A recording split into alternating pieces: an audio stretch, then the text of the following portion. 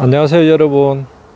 아, 여기 예, 큰 마을입니다. 시골의 큰 마을인데 예, 빈집이 상당히 많은 마을입니다. 그래서 빈집이 얼마나 되는지 오늘 한번 이 동네를 쭉 둘러보도록 하겠습니다. 아, 여기 위치는 경남 고성군 회화면 삼덕리 예, 월계 마을입니다. 여기 오래된 마을이고 한 500년 전에 이제 형성된 마을인데 과거에는 106가구까지 살았다고 하는데 지금은 뭐 빈집터도 좀 보이고 하는데 아 여기는 동네에 너티나무가 있는데 여기도 빈집이 하나 있는데 집을 옛날에 이렇게 지었나 좀 예, 슬레이트하고 예, 콘크리트 블록으로 지어놓은 집인데 예, 마을 좀 위치 높은 곳에 있는데 여기도 예, 텅텅 비어 있습니다. 야, 이 집 내부도 예, 상당히 비어 있었는지 오래된 것 같습니다. 아유, 지금 보면은 이 방에 지금 물이 새가지고 천정이 예, 완전히 이제 무너져 내리기 시작합니다. 예전에 지은 이런 집들은 단열이 다 전혀 안 돼 있습니다. 그래서 거의 보일러 조금만 틀면은 한겨울에 바깥 온도나 실내 온도나 예, 별 차이가 없습니다. 야, 이 마을 입구 쪽인데 벽화를 예쁘게 그려놨습니다. 이 집도 보시면은 지금 완전히 이제 흙집인데 다 무너져 내리고 지금 창고처럼 쓰고 있고 요 앞뜰을 지금 누군가 농사를 짓고 있네요. 예, 우리나라 21년도 빈집 예, 조사를 했는데 예, 그 당시에 151만 호가 빈집이 있답니다.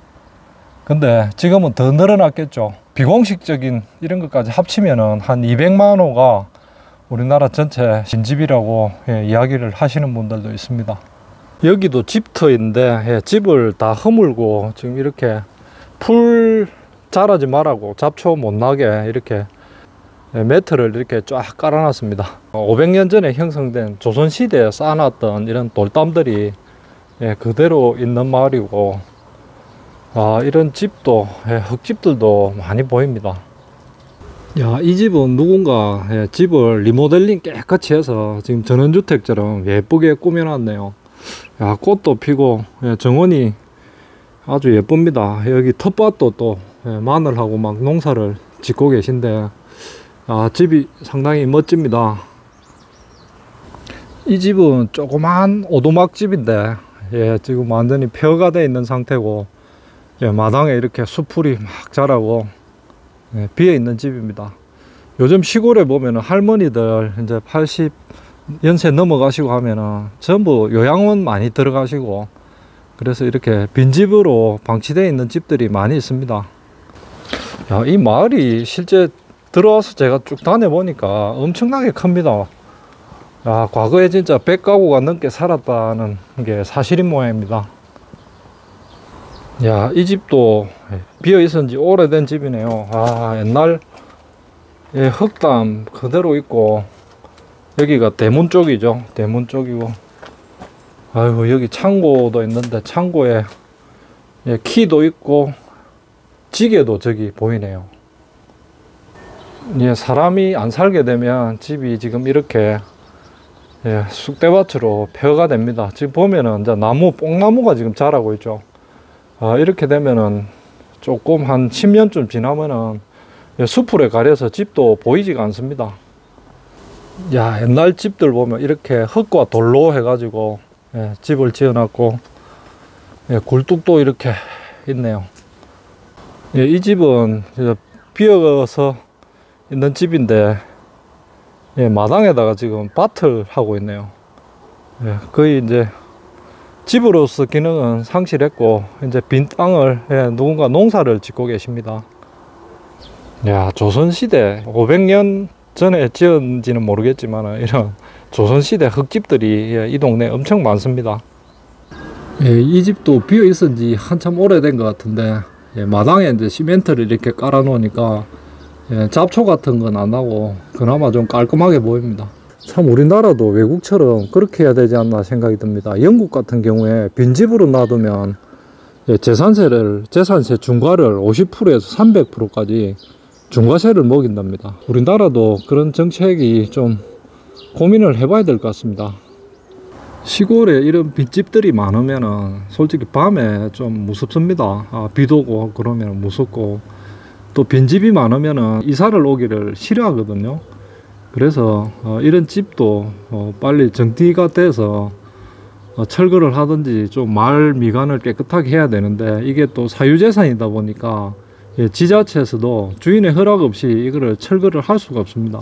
이웃나라 일본 같은 경우에 예, 이렇게 빈집 이거를 수리해 가지고 어, 지자체 등록을 하면은 예, 시골집 구하시는 분들 예, 귀농 이렇게 어, 원하시는 분들한테 임대를 놓는데 그거를 예, 지방자치단체들이 그거를 이제 솔선수범해서 예, 임대하는 거를 주인하고 집주인하고 주요자 간에 연결을 시켜주고 있습니다. 근데 문제는 이런 시골집을 임대를 줄라 해도 이게 단열이 전혀 안 돼 있고 예, 안에 내부 리모델링을 다 해야 되지 않습니까? 그러면은 그 비용이 또 뭐 2천만 원, 3천만 원은 장난이거든요. 단열 공사하는데도 최소한 뭐 어, 500, 700 이렇게 들고 안에 내부 시설 바꾸고 보일러 교체하고 예, 도배 다 하고 하면은 돈이 수천만 원 듭니다. 그래서 수천만 원 들여서 이 집을 수리를 해봐야 달세 얼마나 받겠습니까? 한 달에 뭐 15만 원, 20만 원 받을 건데 주인 입장에서도 도저히 이제 수지 타산이 안 나오는 거죠. 아이고 이 집도 자그마하게 예쁘고 정원도 있는데 지금 농사를 누군가 짓고 있습니다. 마당도 넓고 터가 한 100평 정도 돼 보입니다. 예, 이런 집 예, 수리하는데 비용이 너무 많이 들죠. 그래서 이 정도 집 같으면은 그냥 새로 짓는 게 훨씬 더 예, 싸게 집니다. 어, 이 집은 외양간 창고도 있고 집이 상당히 큽니다.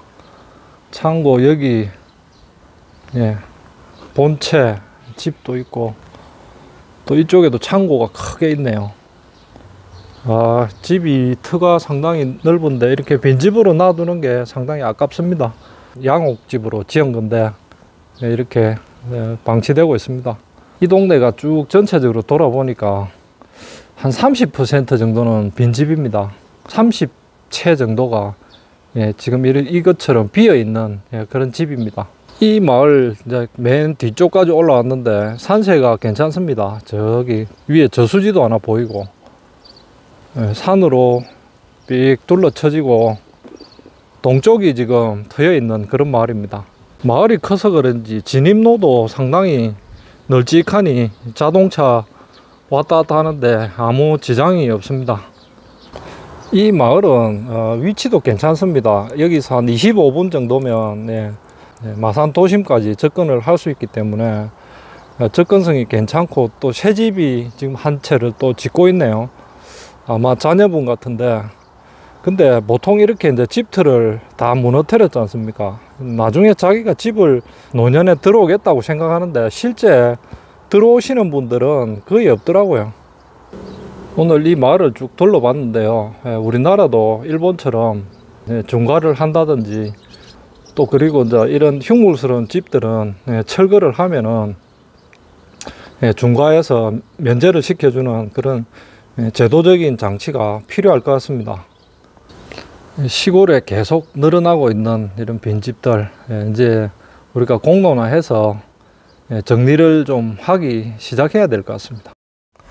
작년부터 도시 아파트 가격도 뭐 30% 40% 폭락을 했다고 어, 그렇게 지금 뭐 난리죠. 그런데 시골 집은 예, 전 제일 비싼 가격 그 피크치 그대로를 유지하고 있는 것 같습니다. 이 마을에도 보니까 매물이 딸랑 한 채밖에 안 나와 있습니다. 그런데 예, 가격이 평당 50만 원입니다. 아, 솔직히 이런 시골집들은 예, 다 철거를 해야 되고 예, 건물은 아무 가치가 없는 거죠. 그런데도 이렇게 비싸게 실제 가격을 내놓고 있습니다. 시골 빈집들 쭉 한번 살펴봤습니다. 영상은 이것으로 끝내고 다음에 또 인사 뵙도록 하겠습니다. 시청해 주셔서 감사합니다.